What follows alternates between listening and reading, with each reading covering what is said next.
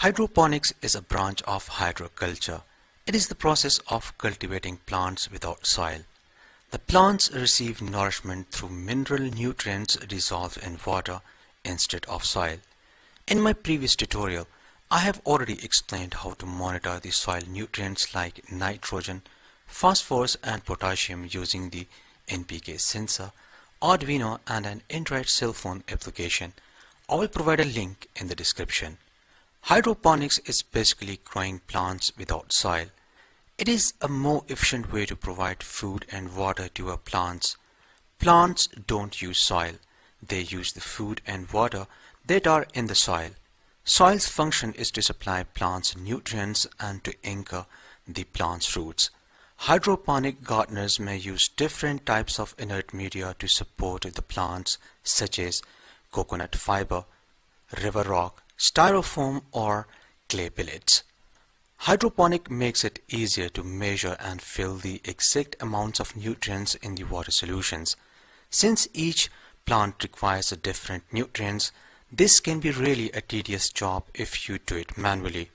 Well, I'm not a hydroponics expert and I really don't know how much nutrients should be added in the water solution, but I can help you in designing and making your own hydroponics system which you can use to measure and fill the exact amount of nutrients in the water using solenoid valves which can be controlled as per the measured values.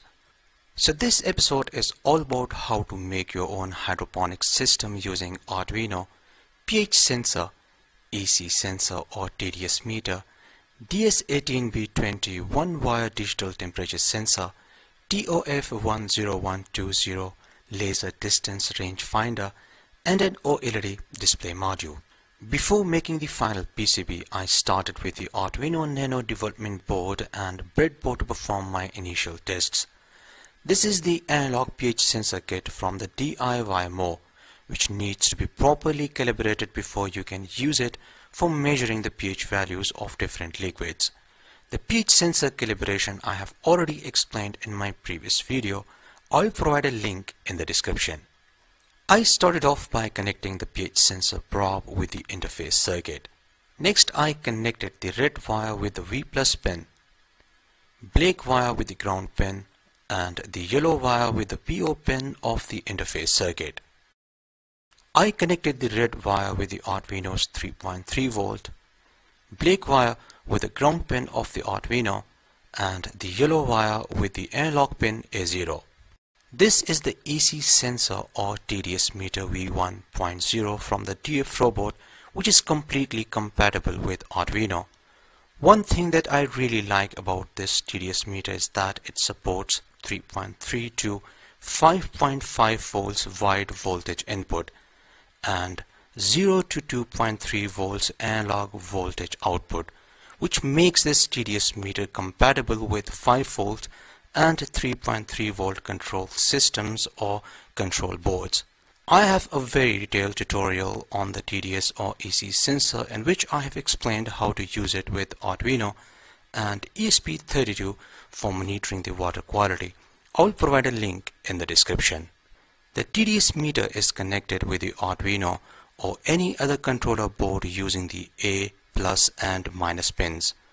For the easy interfacing, I connected male-to-male -male type jumper wires. Connect the plus pin of the TDS meter with 3.3 volt. Connect the minus pin with the ground pin of the Arduino. And finally connect the A pin of the TDS or EC sensor with the A1 pin of the Arduino. This is the DS18B20 one-wire digital temperature sensor. I have already soldered a 10k resistor and some jumper wires as per the circuit diagram which I will explain later in this video. Connect the VCC wire with the 3.3 volt of the Arduino. Connect ground of the DS18B20 with the ground of the Arduino. And finally connect the data wire with the digital pin D7 of the Arduino. After connecting all the sensors, Finally, I connected the OLED display module for displaying the pH temperature and EC values. My interfacing is completed and now I can start with my initial tests. I started off by powering up my Arduino board using a 12 volt adapter. You can see the pH, temperature and the EC values on the OLED display module. Right now the temperature value is correct while the pH and EC values are wrong as yet these sensors are not dipped in the water. For performing my initial test I started with the well water. First I started with a DS18B20 temperature sensor which is completely waterproofed and can be dipped in liquids without any problem. I have been using this sensor with Arduino, ESP32, ESP8266 and Raspberry Pi. This is seriously an amazing temperature sensor and as its waterproof temperature sensor for this project it's just perfect. Anyhow, you can see an increase in the temperature value which means the sensor is working just fine. Next, I added the pH sensor for measuring the water pH value. You can see the value is around 6.9. As per the EPA, the public water pH levels should be between 6.5 and 8.5. The water under test is very close to pH 7 which is really good. The aim is not to measure the water quality, but I just want to say the pH sensor is working great. I'm getting the correct value. So far the pH sensor and temperature sensor are working perfectly and now I'm ready for the next step to add the TDS meter along with the other sensors.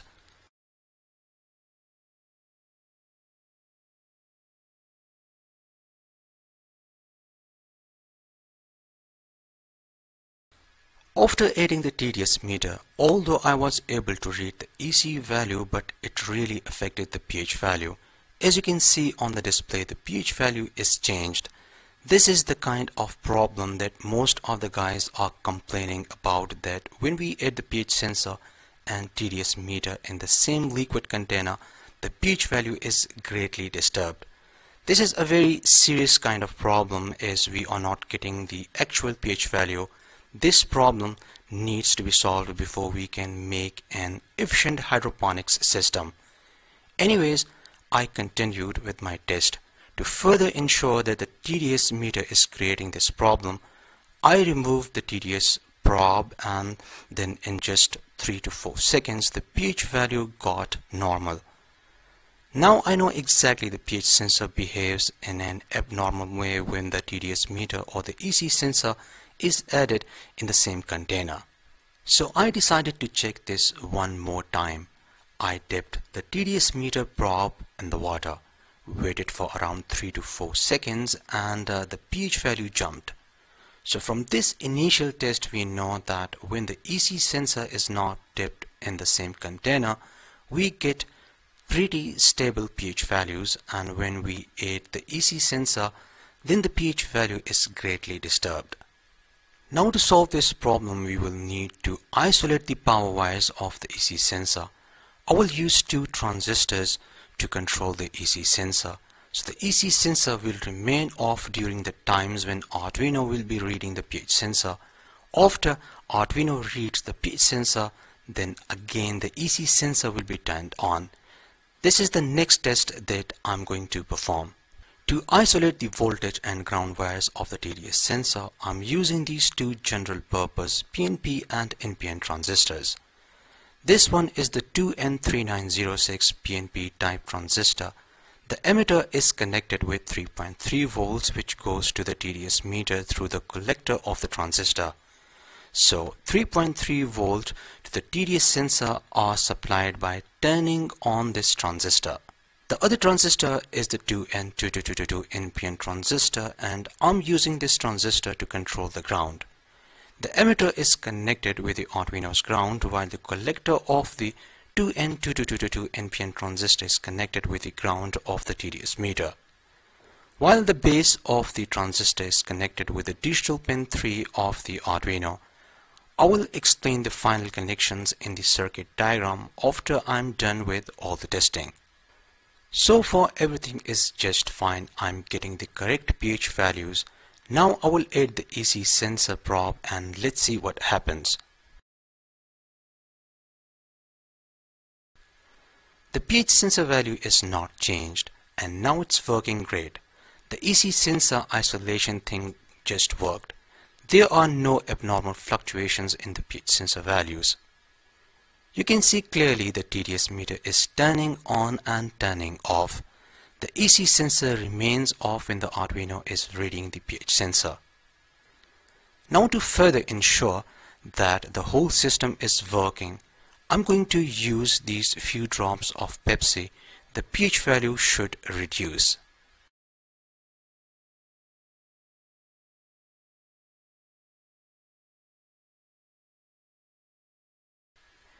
Great. You can see the value is decreasing which means now the water is a little acidic. So after successfully performing my initial tests I designed a PCB so that all the components can be easily interfaced. This time I also added the TOF10120 laser distance rangefinder sensor for measuring the water level. I'm not displaying its value on the OLED display module but on the serial monitor. You can use some if conditions in the programming to control a water pump. In the final hydroponics system PCB I also added headers for the relay module. The relays can be used to control different pumps to aid the required nutrients. Anyways, I did perform the same tests and the results were just amazing. Now I will explain the final circuit diagram, PCB designing and making so now you have the idea of what you are going to learn after watching this video. Without any further delay, let's get started.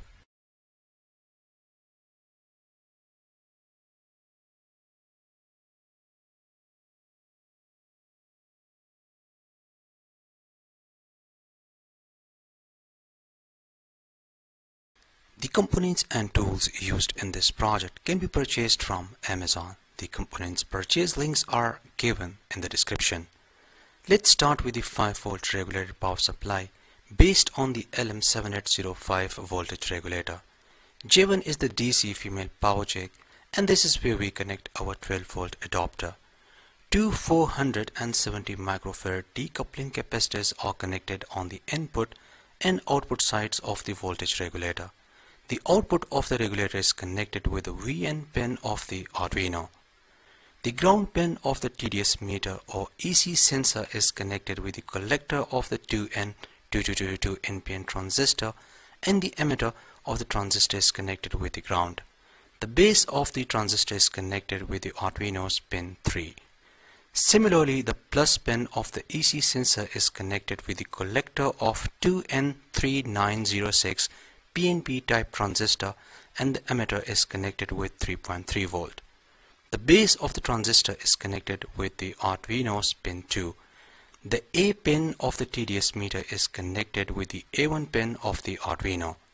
The DS18B20 waterproofed one-wire digital temperature sensor ground is connected with the Arduino's ground.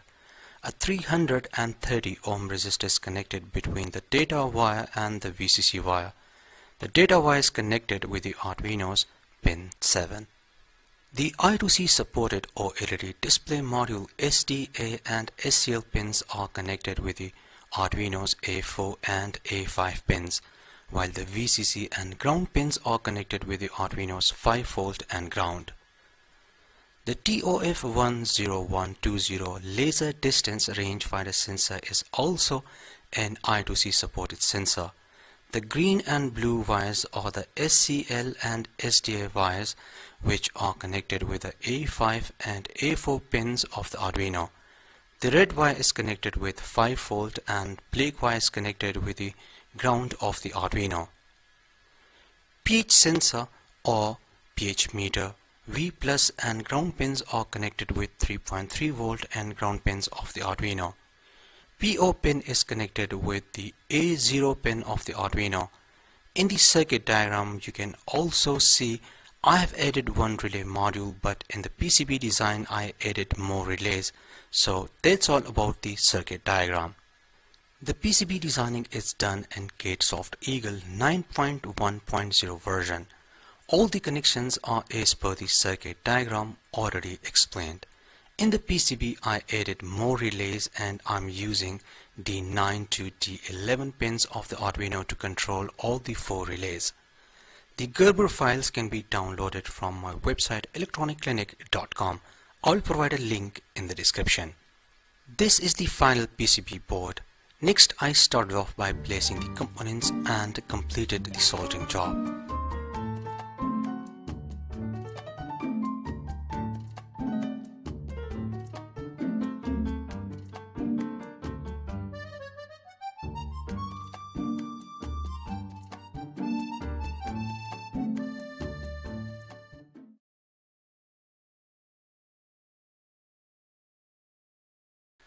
Our hydroponics system PCB is ready. I also added vias for soldering male or female headers which can be used to power up other electronic components using 12 volt, 5 volt and ground. These female headers are used to connect relays. These female headers are for the pH sensor. Over here we connect the EC sensor or TDS meter. Over here the TOF10120 laser distance rangefinder sensor is connected for monitoring the water level. Over here the DS18B20 one-wire digital temperature sensor is connected. My Arduino based hydroponic system is ready. All the electronics are connected as per the circuit diagram. Now let's take a look at the hydroponic system programming. Before you start the programming, first of all, make sure you download all the necessary libraries from our website electroniclinic.com. As you know, I have been using the pH sensor, TDS meter or EC sensor, TOF10120 laser range finder or distance sensor, DS18B20 one-wire waterproof digital temperature sensor, and an OLED display module for quite a long time in different Arduino ESP8266 and ESP32 based projects. So this hydroponics system code is developed by simply copying and pasting the code from my previous projects. The only thing that I didn't do in my previous projects is the isolation thing. In this code I defined pins for the plus and ground pins of the TDS meter or EC sensor. Rest of the code is exactly the same as explained in my previous tutorials. I will provide links to all the related tutorials in the description. I have already uploaded the program. Let's watch the Arduino based hydroponics system in action. Full demonstration is already explained in the start of this video. Support me on Patreon for more videos. I hope you liked today's episode. Like and share this video with your friends. See you in next episode and thanks for watching.